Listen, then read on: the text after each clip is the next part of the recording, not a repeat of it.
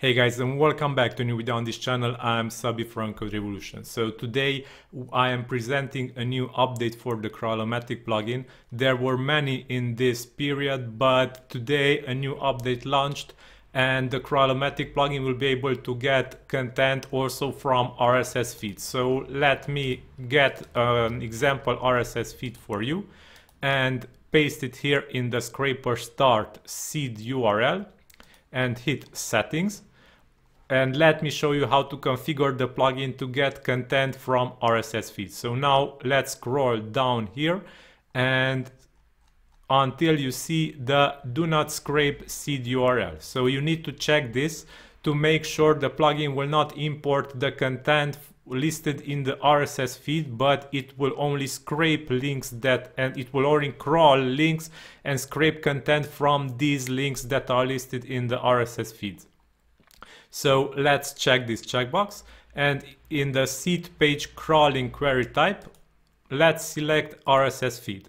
So this is the basic need of what we need to set up. Now let's save settings and we can go ahead and run importing. So now the plugin crawls the links listed in the RSS feed and it will scrape articles from it. So if we check our site now, we will see that the content is imported. So if we check our feed, the Twitter link will be the first one that appears.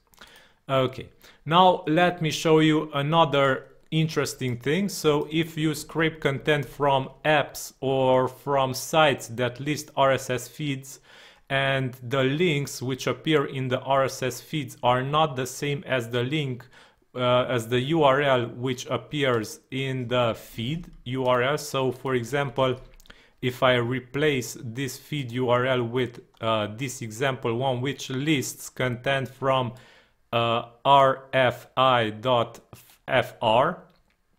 in this case, and the feed URL will be rss.app. In this case, the plugin will not be able to get content by scraping the RSS feed because here in the plugin settings, you also have a thing that prevents the plugin to crawl external links. So here, the do not crawl external links checkbox is checked, meaning that if the plugin finds in the RSS feed links that are not the same domain as the as the RSS feed domain, it will skip them. So to make this kind of RSS feeds which have different domain and listing different domain articles, then you need to uncheck this checkbox. So now if we uncheck that checkbox and delete the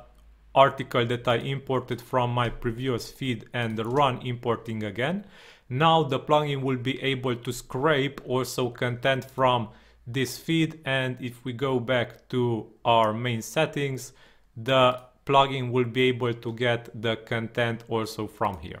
Okay, so this is how you will be able to scrape content using Crawlomatic and to use RSS feeds. So keep in mind, you will have to check this checkbox, select here RSS feeds and in case that your feed URL is different than the articles that are listed here. So if the domain of the URL is different, then you also need to uncheck the do not crawl external links checkbox from here.